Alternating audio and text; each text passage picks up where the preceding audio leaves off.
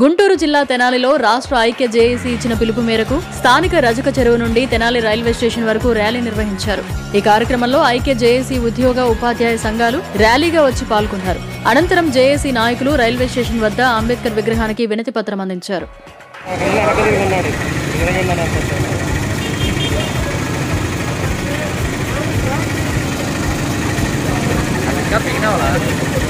సాంప్రదాయ ప్రకారము మహిళా ఉద్యోగులందరినీ కూడా ముందు పెట్టి ఆ తర్వాత మరి ఆ, మిగిలినటువంటి పురుష ఈ యొక్క కార్యక్రమాన్ని క్రమశిక్షణతో మనం ముందుకు చేసుకెళ్దాము ఒక్కసారి ఒకటి